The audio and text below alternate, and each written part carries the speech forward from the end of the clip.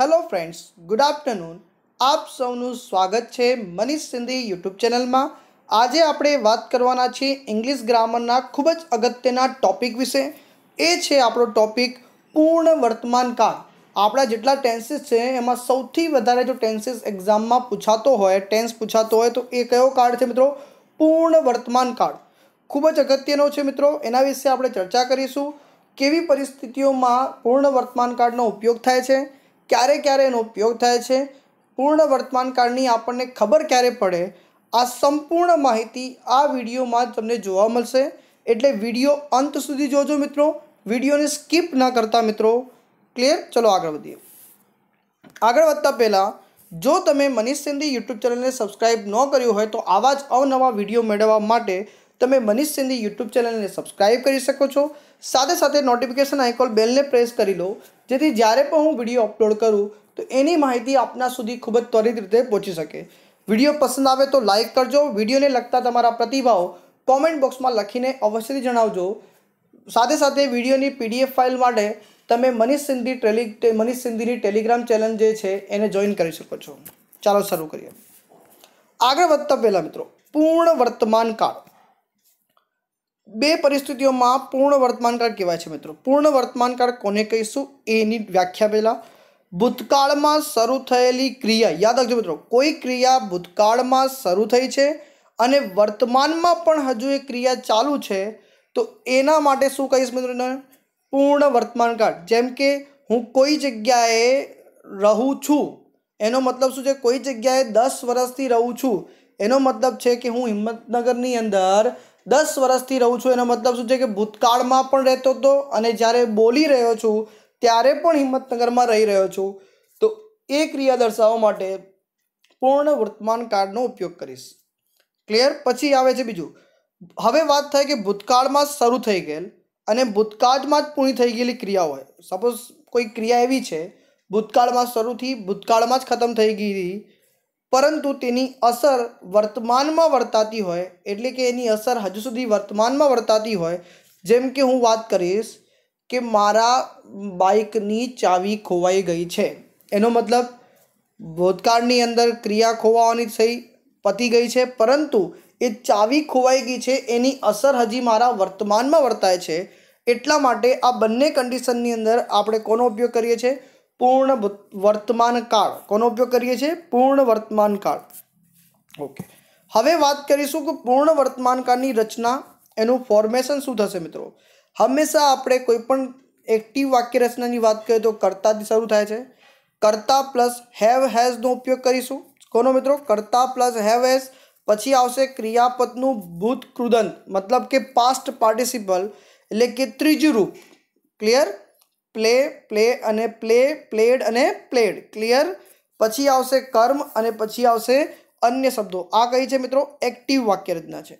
હવે આપણી પાસે જે કરતા જે છે ફર્સ્ટ પર્સન સેકન્ડ પર્સન અને ત્રણ ત્રીજું પર્સન પહેલો પુરુષ, બીજો પુરુષ, ત્રીજો પુરુષ, આ પ્રકારે યુઝ કરીએ છીએ.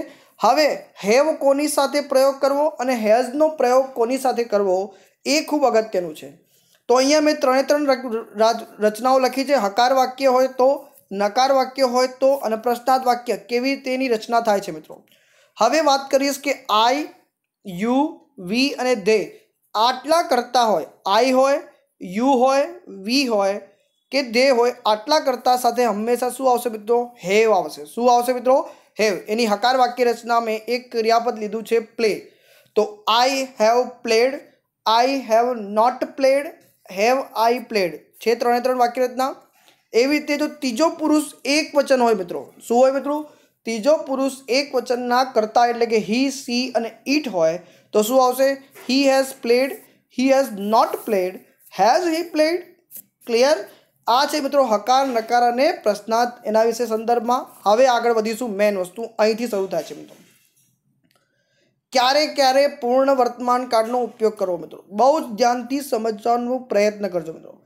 કોઈ માણસે કંઈક કામ કર્યું હોય અને આપણે એને લોકોને બતાવવા માગતા હોય. સપોઝ મેં કોઈ કામ સારું કર્યું છે, હું લોકોને બતાવવા માંગતો હોઉં કે જો ભાઈ આ મનીષે બહુ સારું કામ કર્યું છે, હો, તો એવા પ્રકારની જો રચના જે છે એ પૂર્ણ વર્તમાન કાળમાં ઉપયોગ થાય. તેમજ કોઈના કામને આપણે મહત્ત્વ આપતા માંગતા હોય, કોઈ કામને આપણે મહત્ત્વ આપવા માંગતા હોય ને, ત્યારે આ પ્રકારને જેમ કે કોઈ વાત કરીએ, કોઈ મધર મમ્મી પપ્પા હોય છે મિત્રો આપણા એ શું કરતા હોય? જ્યારે બી પોતાનું બાળક કંઈ બી સારું કામ કરે ને તો થોડુંક બી સારું કામ કરે ને શું કરે?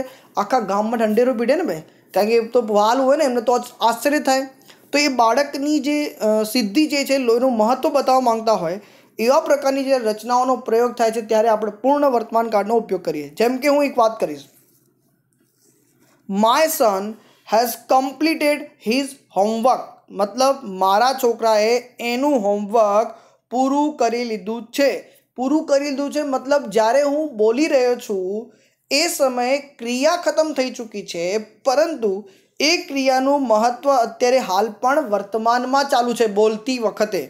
એટલા માટે એ લખ્યું છે my son has completed his homework clear જેવી રીતે હમણાં વાત કરી કે સલમાન ખાન સાહેબ જે છે, એમણે હાલમાં જ પોતાની ફિલ્મનું શૂટિંગ પૂરું કર્યું છે. કઈ? ટાઈગર જિંદા હૈ.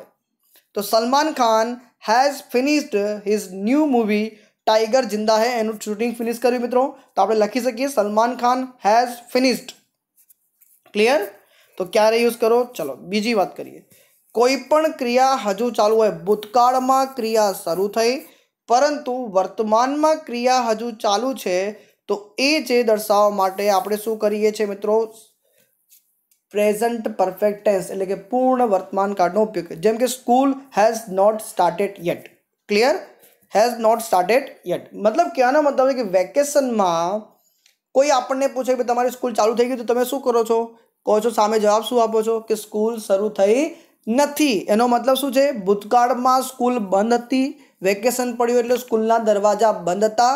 અને હજી જ્યારે હું બોલી રહ્યો છું કે મારી સ્કૂલ ચાલુ થઈ નથી, ત્યારે એ ક્રિયા જે છે હજી સુધી બંધ છે. એ ક્રિયા બંધ હતી, એ બંધ જ છે. એટલે કે ચાલુ કહેવાનો મતલબ છે કે ક્લોઝડ એ ક્રિયા છે મિત્રો કે બંધ થવાની ક્રિયા ત્યારે ભૂતકાળમાં શરૂ થઈ હતી અને હજી વર્તમાનમાં બી ચાલુ છે. એટલે school has not started yet ત્રીજું, ક્રિયા હમણાં જ ખતમ થઈ કોઈ પણ એવી ક્રિયા કે ભૂતકાળમાં શરૂ થઈને હમણાં હાલમાં જ્યારે આપણે બોલી રહ્યા હોય ત્યારે ખતમ થયું જેમ કે હું વાત કરીશ કે મેં મારું જમવાનું હમણાં જ પૂરું કર્યું. ક્લિયર તો મેં મારું કામ હમણાં જ ખતમ કર્યું. મારી જોબ હમણાં જ પૂરી થઈ છે. આ પ્રકારના બધા વાક્યો જે છે એની અંદર આપણે પૂર્ણ વર્તમાન કાળનો પ્રયોગ કરીએ છીએ.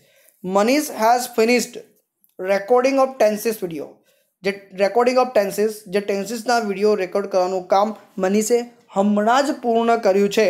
હમણાં જ પૂર્ણ કર્યું છે એટલા માટે શું આવશે? પૂર્ણ વર્તમાન કાળ clear have has plus V three એટલે કે ભૂતકુદન I have just finished my work મેં હમણાં જ મારું વર્ક ખતમ કર્યું. I have just eaten my dinner lunch snack whatever તો દરેક પ્રકારના સેન્ટેન્સ આવા હમણાં જ ખતમ થઈ ક્રિયા જ્યારે પણ પ્રયોગ થાય, ત્યારે પૂર્ણ વર્તમાન કાળનો પ્રયોગ કરો. પૂર્ણ થયેલ ક્રિયા, પરંતુ તેની અસર હજુ પણ વર્તાતી હોય, તો ત્યારે વર્તમાન કાળનો ઉપયોગ કરીએ છીએ I have lost my keys એટલે કે મેં મારી ચાવી ગુમાવી દીધી. I have lost my Mercedes મેં હમણાં જ મારી મર્સિડીઝ ગુમાવી દીધી, મિત્રો. હવે, બીજો આ અગત્યનો છે, મિત્રો, મુદ્દો એ યાદ રાખજો. બોલતી વખતે ક્રિયા એક વખત બનેલ હોય કે ક્યારે ન બનેલો હોય?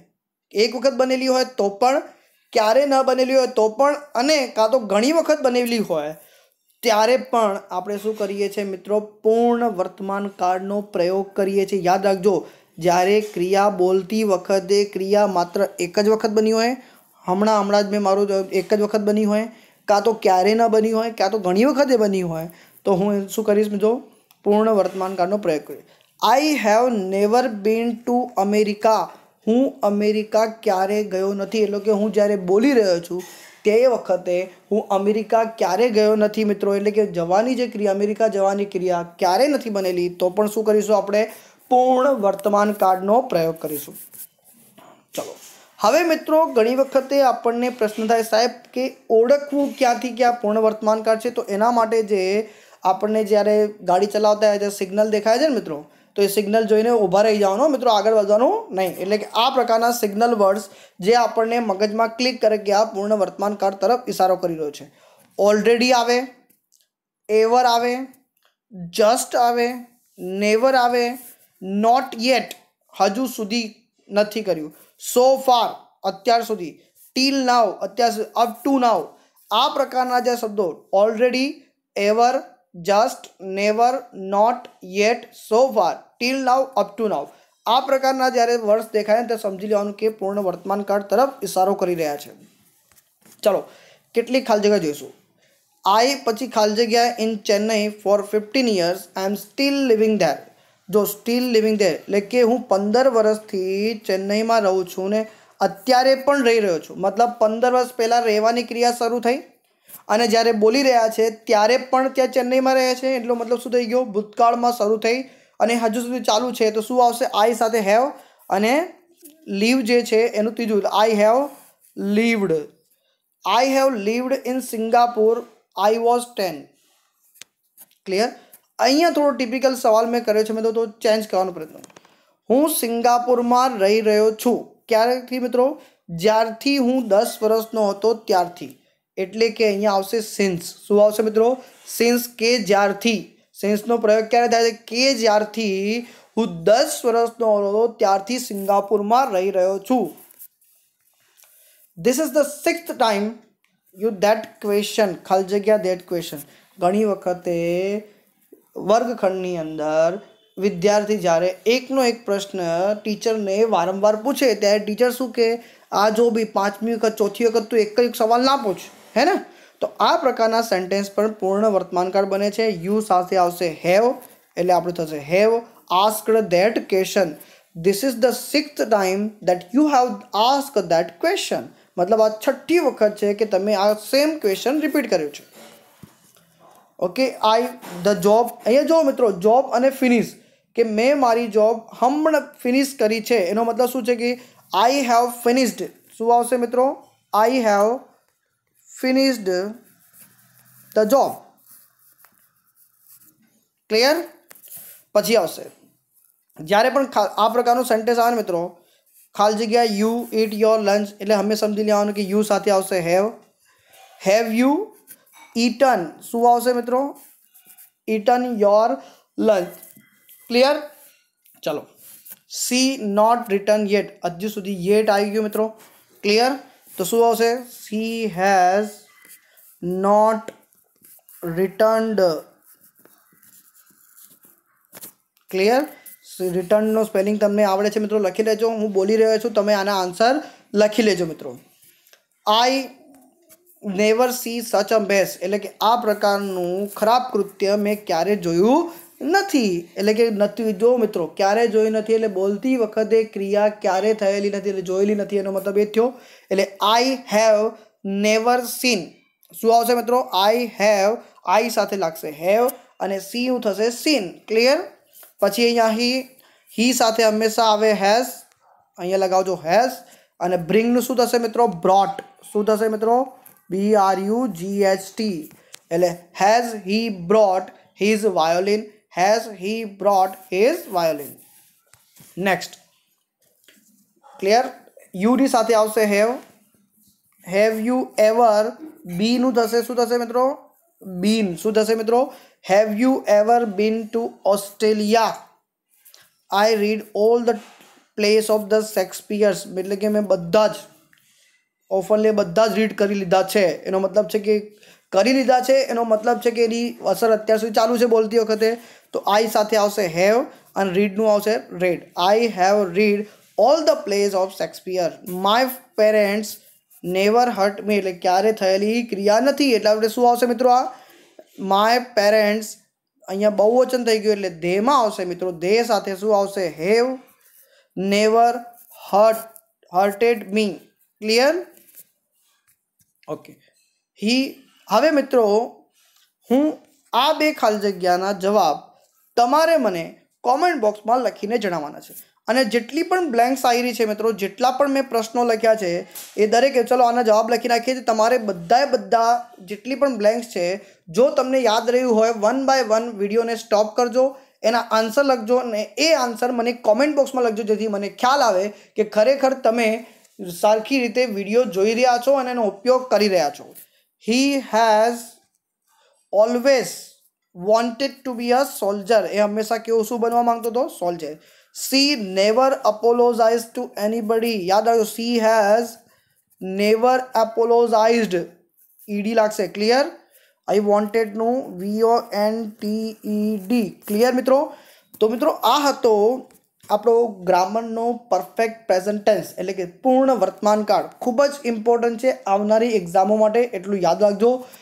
અને જેટલા પણ પ્રશ્નો મેં સોલ્વ કરાયા છે, દરેકે દરેકના પ્રશ્નોના આન્સર તમે પણ લખજો અને કોમેન્ટ બોક્સમાં લખીને મને અવશ્ય જણાવજો, જેથી મને પણ ખ્યાલ આવે કે ખરેખર તમે સિરિયસલી વિડીયોનો લાભ ઉઠાવી રહ્યા છો.